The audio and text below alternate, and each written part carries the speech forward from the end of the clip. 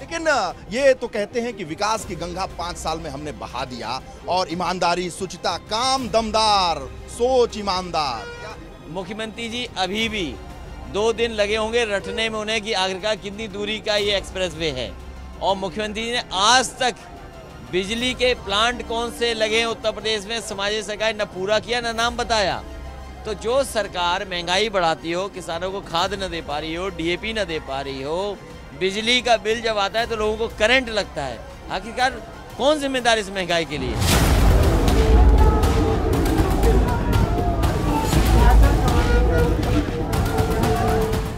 अखिलेश जी पाँच साल में इस सरकार ने कुछ तो किया होगा। भाई मुख्यमंत्री आप भी रहे हैं तो जो मुख्यमंत्री होता है कुछ तो करता ही है। तो क्या किया इन्होंने? ये पहले मुख्यमंत्री हैं जिन्होंने समय काटा है। समय काटा है? पूरे पाँच साल का समय काट दिया।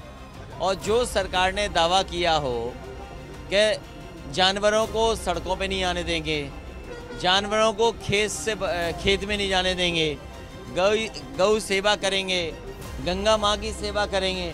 आज बताइए, कितने बड़े पैमाने पर लाश देखने को मिली गंगा मैया के किनारे? और फिर जो सरकार बुल और बुलडोजर के चक्कर में है, आज बुल और बुलडोजर उत्तर प्रदेश को बर्बाद कर रहे हैं। सही जगह अगर बुलडोजर चला होता तो इस सड़क में पेट दर्द और कमर दर्द नहीं होता। जिस जगह बुलडोजर चलाना वो बुलडोजर नहीं चला रहे। जिस बुल को हटाना है खेत से वो बुल नहीं हटा पा रहे। आखिर सरकार क्या कर रही है? सरकार कह रही है कि सारे माफियाओं पे बुलडोजर से एकदम हम रगड़ मारे हैं सबको पूरा बुलडोजर ही बुलडोजर है। तो कम से कम मुख्यमंत्री जी ये बताएँ उन पे कौन सी धाराएँ लगी थी जिन मुकदमों को वापस लिया उन्होंने? और साथ ही साथ पूरे प्रदेश की माफियाओं की सूची क्यों नहीं जारी करते हैं? और जितनी दर्दनाक घटना उनके ज़िले में हुई है, एक व्यापारी कारोबार के लिए आया, उसको मार मार के जान ले ली उसकी। लखनऊ में एक मल्टीनेशनल में कंपनी करने वाले को उसको गोली मार दी गई। क्या ये घटनाएँ मामूली घटनाएँ हैं? इसका जिम्मेदार अगर कोई है तो सरकार की ठोकराज जिम्मेदार। है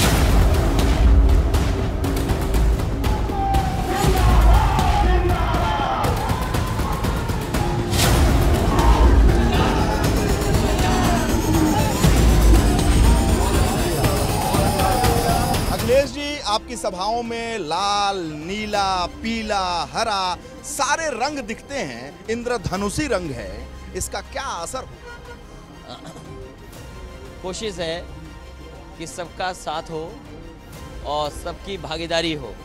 जब सबकी भागीदारी होगी, तभी सभी का सम्मान होगा। इसलिए आपने देखा होगा, लाल, पीला, हरा, नीला, सफ़ेद, सब आज रंग आ गए हैं।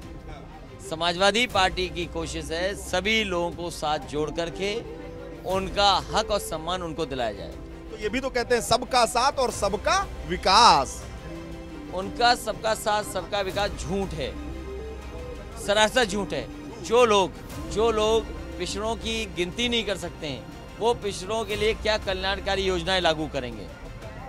जो पिछड़ों की गिनती नहीं कर सकते वो उन्हें हक और सम्मान क्या देंगे? अच्छा जाति जनगणना के आप भी पक्ष मैं ही नहीं देश के तमाम दल और जितने इसमें रथ में चल रहे हैं, और पूरे देश के जितने भी पिछड़े हैं, चाहे वो उत्तर प्रदेश के हों, चाहे वो कर्नाटक के हों, चाहे तमिलनाडु, सभी चाहते हैं जनगणना हो।